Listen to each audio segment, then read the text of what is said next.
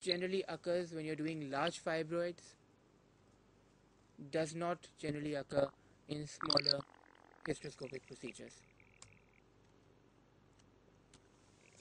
Late onset complications which are more problematic for the patient is the vaginal discharge which generally is self-limiting so you need to do a lot of counseling for the patient reassuring them that it will stop. If you're doing a myomectomy as listed here, you must tell the patient that adhesions can form and she might need a sitting of hysteroscopy to see if adhesions have formed and then to remove them. So again, I keep stressing on counseling, which is very important. Failure of resolution of presenting symptoms. We, as uh, human beings, tend to blame circumstances.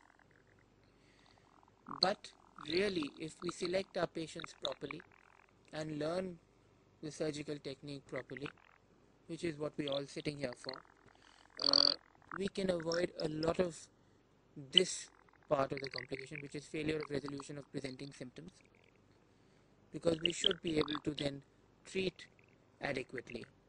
So I stress on patient selection. It's, for example, if we take up a patient who has adenomyosis and is presenting with abnormal uterine bleed or heavy bleeds for a case of thermal ablation, then we're not going to get much joy in that. And the patient's symptoms might even be increased. Hence, selection of patients is very important. And learning the technique. We tend to give the technique a bad name by not adhering to the, these two points. The technique is very good. It is we who have not A. learned the technique properly, B. not selected the patient properly. Now, these are some points or some things that are given in literature that uh, after a septoplasty, we need to counsel patients about these things that you can have early pregnancy loss, which has been documented uh, in literature. So, counseling a patient is very important and hence reducing this sort of anxiety or this uh, complaint from the patient is uh, to a large extent. When, when I've mentioned here 60 to 70% of Asherman cases uh, are not cured as far as pregnancy goes. The take-home baby rate in Asherman's is less, but the restoration of periods uh, is to a large extent achieved with doing an adhesiolysis. Almost 90% if not more patients get a lot of their periods restored which is very important for our uh, ladies in our society. Now I'm going to show you some complications or some clips really not of complications but situations and complications that do arise this is a young lady who we operated on. She was a doctor who had had a couple of failed intrauterine inseminations. She had an acutely anteverted uterus, and what we found, it's a very short clip, was that there was actually a false passage which was being made again and again. There you see it very clearly, and the cavity is on top of that. So many a times I get a report of a hysteroscopy being done elsewhere, and they say it's a tubular cavity. Now for the non-discerning eye, this seems like a tubular cavity. You go in, no ostia visualized, come out, hysteroscopy done, tubular cavity, nothing visualized. but really that is why I say you must, we must do more and more hysteroscopies, gain experience, because the most important part of hysteroscopy is recognizing pathology, to recognize this, your, where you are. And how would you recognize that you're in a false passage? You recognize by the fact that when you go in, you see more muscle fibers. You don't see glands there. You don't see the openings of the endometrial glands. And of course, your third sense tells you that you're not in the right place. So, there's a very nice paper which has been written by a couple of hysteroscopic surgeons in Jaipur uh, who do a lot of good work, the Kumars, and they mention this very clearly the points that I've mentioned about the glands not being seen, the muscle fibers being there, uh, which you need to recognize that you're in the wrong place. This of course will come with experience. Now this is another case. Remember never to do uh, tubal catheterization after doing a chromotubation because you tend to lose your anatomy and you go into the wrong place. Now there is, we're using laser technology here, we're using a laser CO2 laser to see and to cut adhesions. That is where the ostia should have been and we were looking here and we cut into the muscle fibers. Again, same um, points to remember. You see muscle fibers crisscrossing there and no endometrial opening, gland openings. So luckily we had to do a laparoscopy in this lady and uh, we found that we did not go through and did not cause a complex perforation. So all is well that ends well. But it's a point to remember, a point to discuss what to do and how to do it because this has been our learning curve and hence you will all have your own learning curves. Now this is another clip that I'm going to show you which was fairly uh, sort of long in our after we'd done quite a few hysteroscopies. It was an Asherman's uh, syndrome patient that we were doing and as you can see that's a perforation which we've made with our scissors. The diameter of these scissors are 1.4 millimeters so it isn't as big as it appears but even though we had the advantage of doing so many Asherman's cases and so many hysteroscopies you can still perforate. And this is what I wanted to show. So we're going to have a look at this clip again. We're using just mechanical scissors here. And we actually go through the wall but the advantage again is that we're going with the mechanical instruments. I know there has been no damage caused beyond that. So I'm comfortable with this. Again let me show it to you again.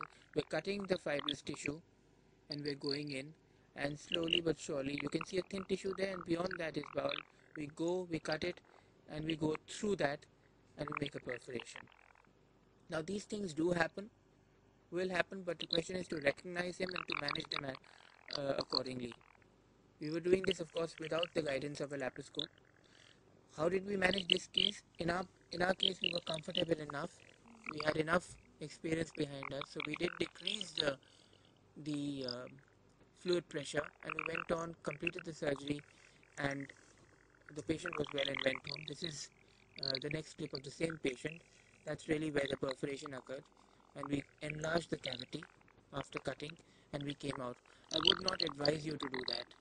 I would say you manage her like a normal perforation, you come out, you stop the procedure there and you manage like a normal perforation like you would do like we've discussed and then come back and repeat the surgery or repeat the procedure at a date, later date. Maybe this time putting in a laparoscope.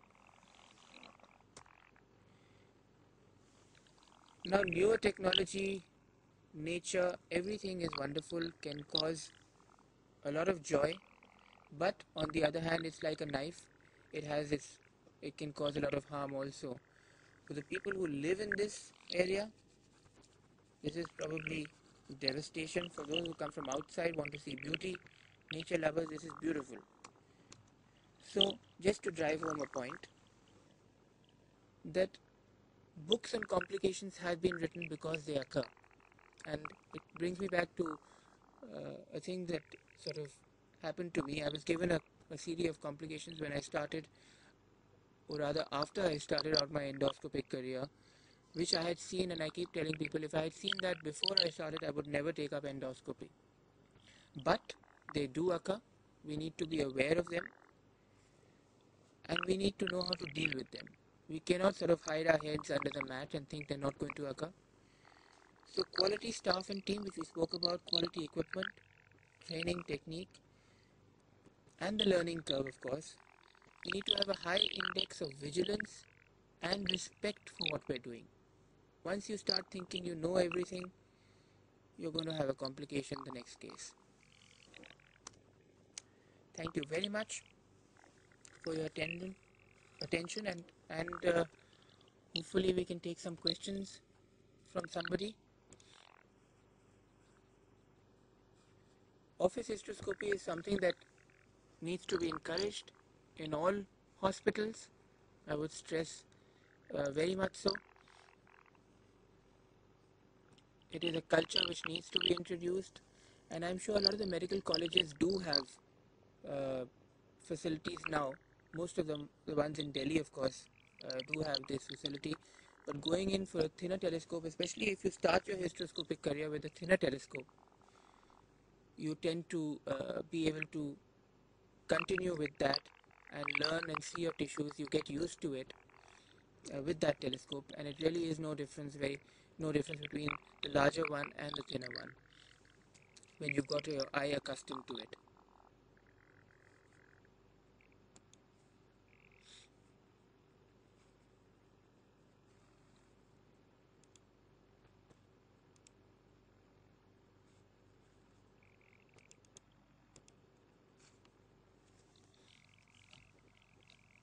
I'd like to thank the Johnson & Johnson company of course and FOGSI for this interactive session or this session which has been wonderful and I hope it continues because it is something that we can have reaching the far corners of our country. Technology can be sort of disseminated techniques, training techniques and a lot of good can be done uh, with this. So I hope it does continue. I thank everybody here, of course, who's come on a Sunday morning and afternoon and spend their whole day here. There are good 20 25 people who are working behind the scenes to get this to you uh, in the ISRO center, of course. So, thank you very much, and I hope everybody's had a good session.